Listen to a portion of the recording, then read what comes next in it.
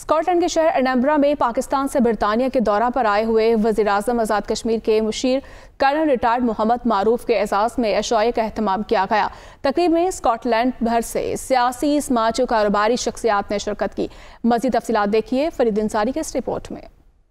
Scotland के शहर डमरा में पाकिस्तान से बरतानिया के दौरे पर आए हुए वज़ीर अजम आज़ाद कश्मीर के मुशीर मोहम्मद कर्नल मारूफ ने इशाया दिया, जिसमें स्कॉटलैंड भर से सियासी, समाजी और कारोबारी शख्सियात ने शिरकत की। तकरीब में निजामत के फ़राइज शुएब राजपूत ने अदा किए। मेहमान खसूसी कर्नल रिटायर्ड मोहम्मद मारूफ ने अपने खिताब में कहा कि लोग सोशल मीडिया पर मनफी बयान सुनकर गलत कदम उठाते हैं, जिससे पाकिस्तान की साख को नुकसान पहुँचता है। हमें मनफी प्रोपेगंडे से बचना होगा। जाने कि मैं यहाँ डमरा आया हूँ और खूबसूरत तकरीब का इनका किया, बहुत खूबसूरत इशारिया जो मुझे बड़े खलूस के साथ इन्होंने इसको तकरीब को मनद किया तो इस पर मैं राजा कैसर साहब, राजा अनजाल साहब, राजा अज़ीज़ साहब और दीगर जो साथी हैं राजा शुएब साहब और बाकी जितने भी लोग मेज़बान और जो लोग जहाँ आए हैं, काफ़ी लोग यहाँ कारोबारी लोग भी हैं, समाजी और सियासी शख्सियात भी हैं कारोबारी लोग भी हैं और मुख्तलिफ़ फ़ील्ड ऑफ़ लाइफ से आए हुए हैं। तो मैं सबका शुक्रिया अदा करता हूँ मुझे बड़ा अच्छा लगा है।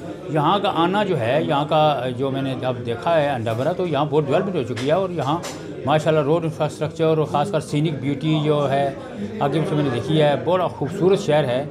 इससे पहले भी मैं आया था, लेकिन इस दफ़ा कोई ज़्यादा ही मुझे, मैं मुतासर हुआ हूँ। तो यहाँ लोगों का जो खलूस था, वो भी बड़ा दीदनी था।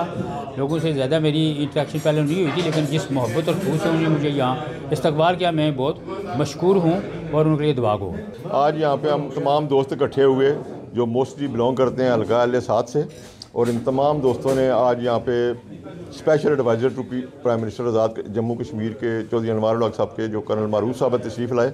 उनके लिए यहाँ पे राजा कैसर साहब ने एक दावत का अहतमाम किया शाइये का अहतमाम किया एडनबरा में, और अच्छी बातें हुई, गपशप हुई। तो सारे दोस्त, राजा इंजाल साहब, इकबाल साहब, जितने भी दोस्त यहाँ पे आए सब के नाम तो नहीं बना ले सकता, लेकिन सब दोस्तों का बहुत बहुत शुक्रिया जी आने के लिए, और इन ताला आगे भी आंदा इस किस्म के काम करते रहेंगे। मुझे बहुत खुशी हुई है आज एंडम्बरा आकर, कश्मीरी डायस्पोरा पूरी दुनिया में सुना तो था लेकिन एडम्बरा में पा, पाकिस्तान से मोहब्बत और कश्मीर से मोहब्बत और स्पेशली कश्मीर डायस्पोरा से यहाँ के जो लोग हैं उनसे इंट्रैक्शन हमारे लिए आज नई बात थी। आज बहुत से दोस्तों से मुलाकात हुई है और हमने नए रिश्ते कायम किए हैं यहाँ पे।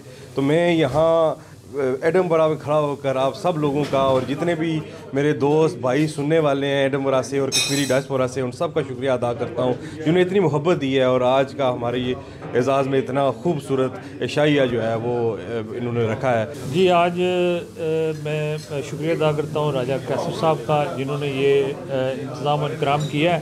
हम सब दोस्त यार बाप को इकट्ठा किया है।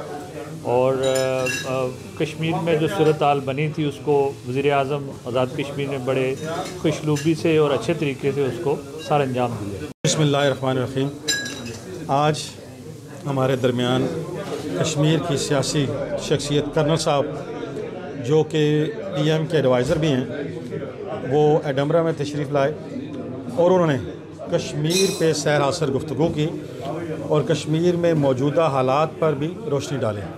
उन्होंने कश्मीर के आलमी जो अकवा मतदा में करारदादें मौजूद हैं, उस पर रोशनी डालते हुए कहा, हमें इस वक्त यकजहती की ज़रूरत है। ना कि हमें इस वक्त मुल्क आज़ाद कश्मीर में अफरा तफरी करनी चाहिए। अगर हम यकजहती करेंगे तो हम मसला कश्मीर को अकवा आलम तक बेहतर सूरत में पहचान सकते उन्होंने इस बात की अपील और तायद भी की कि आज़ाद कश्मीर की गवर्नमेंट अपने शहरीों के लिए हर मुमकिन सब्सिडीज़ फराम करेगी तकरीब के अख्ताम पर ऑर्गेनाइजर ने मेहमान खसूसी कर्नल रिटायर्ड मोहम्मद मारूफ का दौरा स्कॉटलैंड पर शुक्रिया अदा किया। फरीद अंसारी, दुनिया न्यूज़, स्कॉटलैंड।